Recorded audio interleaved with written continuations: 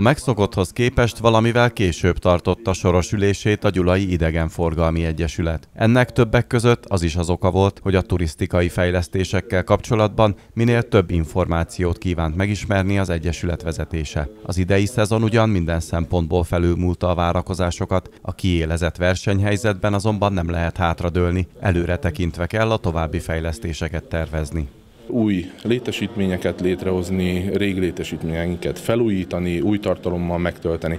Tehát gyakorlatilag ez az a folyamat, ami érzékelhető, vannak nehézségek, amikkel folyamatosan meg kell küzdeni, illetve természetesen lépésről lépésre szeretnénk utolérni, aki előttünk áll turizmus terén, illetve lehagyni azokat, akik már mögöttünk állnak minél inkább. Az idei évben nem lehetett panaszuk az idegenforgalomban érdekelt szolgáltatóknak, valamennyi területen érezhető volt az emelkedés. A várfürdő a tavalyi évhez képest mintegy 7%-os emelkedést könyvelhetett el, de a vendégészakák száma is nőtt, ami több összetevőnek köszönhető. Az idő az csodálatos volt majd, hogy nem már mediterrán sok esetben.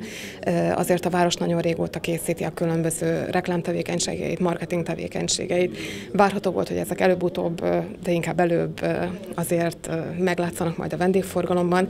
Én hiszem, hogy ez már annak is az eredménye. Nem szabad elfeledkezni a várfürdő folyamatos fejlesztéseiről, az akvapalotáról, tehát ez mind-mind vendéget generált, és hát bízunk benne, hogy a tendencia az marad, és továbbra is én azt gondolom, hogy mindenki felkészülten várja a turistákat. Az Egyesület a következő havi ülésén a Szigeterőt programmal, decemberben pedig az Almási Kastéllyal kapcsolatban foglalkozik részletesen.